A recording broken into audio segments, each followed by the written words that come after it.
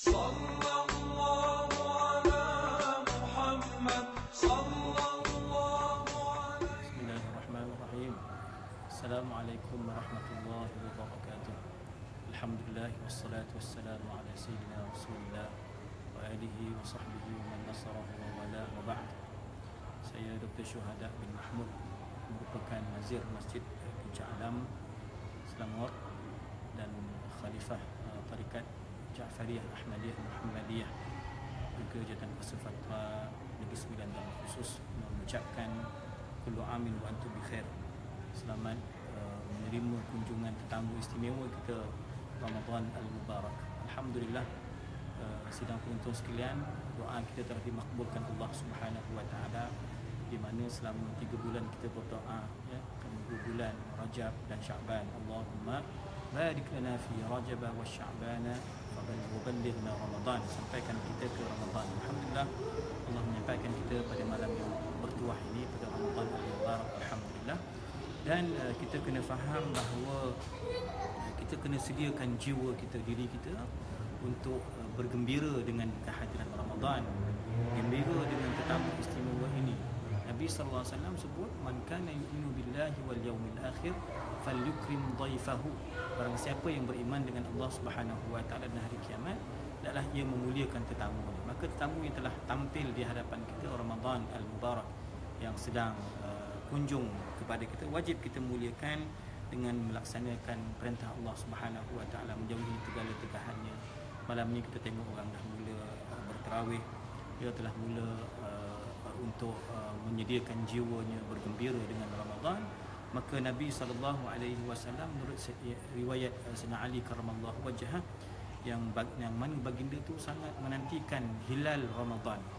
Berbanding dengan hilal yang lain anak bulan yang lain tetapi uh, Nabi SAW sangat fokus menantikan ketibaan hilal Ramadan dan uh, ketika Nabi SAW melihat hilal Ramadan itu antara doa yang Nabi SAW baca Allahumma ahillahu alaina bil yumni wal iman. Ya Allah jadikan hilal ini hilal yang yang sejahtera, yang bahagia, yang berkat dan yang membawa keimanan. Wassalamati wal Islam yang membawa keselamatan dan keislaman. Wat taufiq lima yuhibbu wa yarda dan merupakan taufik bimbingan Allah terhadap apa yang Allah redha, apa yang Allah suka. Maka itu doa Nabi SAW.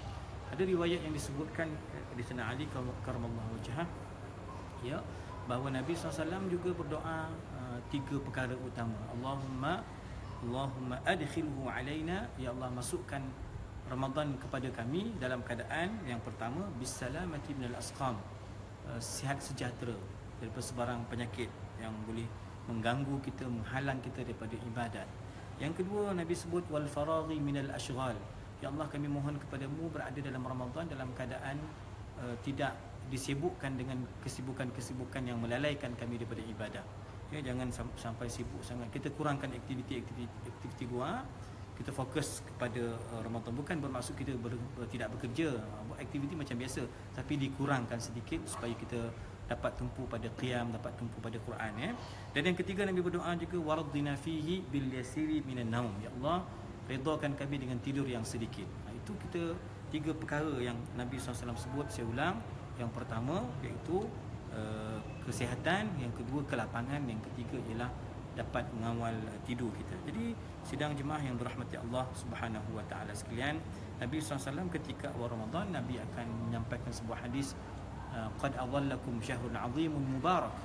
Uh, telah sampai kepada kamu bulan yang azim, yang hebat, mubarak yang penuh keberkatan, yang terkandung padanya banyak kelebihan antaranya tarawih, qiyam, nuzulul Quran, badar al-kubra dan banyak lagi. Jadi insya-Allah uh, di sinilah kata Imam Ibn Rajab Al-Hambali berdasarkan hadis ini qad adhallakum syahrun azimun mubarak uh, kata Imam Ibn Rajab diambil daripada hadis ini agar kita apa perlu digalakkan mengucapkan tahniah. Jadi kita jumpa kawan kita ni di mana-mana di bazar Ramadan ke, di masjid ke, di mana ke, di pejabat kita katakan selamat menyambut Ramadan ataupun kadang-kadang orang Mesir disebut Ramadan Karim. Ramadan ini ya, bulan yang yang mulia ya. Kita jawab Allahu akram Allah tu lebih mulia. Allah yang memberikan kemuliaan kepada mereka yang memuliakan Ramadan al-Mubarak. Jadi moga kita dapat memanfaatkan Ramadan. Aqulu qawli hadha wa astaghfirullahal azim li wa lakum. Assalamualaikum warahmatullahi wabarakatuh